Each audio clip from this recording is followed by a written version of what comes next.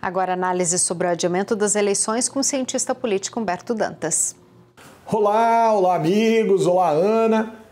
Pois é, Ana, habemos, habemos é bom, né? Mas temos, possuímos novas datas para as eleições municipais de 2020.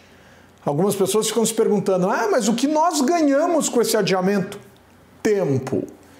Tempo para a contenção da pandemia. Tempo para o arrefecimento desse espraiamento que mata, chamado Covid-19, aí o vírus, etc, etc, etc, o tal novo coronavírus. Ganhamos tempo porque eleição aglomera.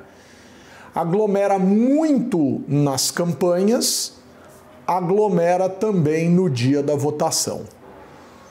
Dito isso, Ana, uma medida constitucional, uma emenda constitucional foi aprovada às pressas, começou atrasada, mas ganhou fôlego e ritmo e foi aprovada às pressas no Congresso Nacional.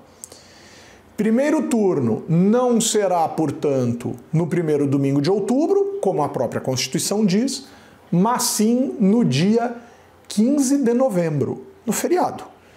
E o segundo turno, Ana, se necessário, e ele só é possível em cerca de 100 cidades que têm mais de 200 mil eleitores.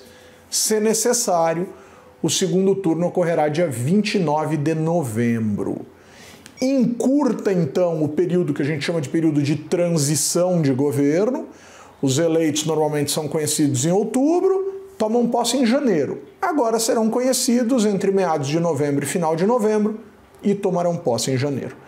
É assim que será. O calendário eleitoral andou também e agora a gente tem mais alguns dias para ver o que acontece com a pandemia. Avança democracia, avança.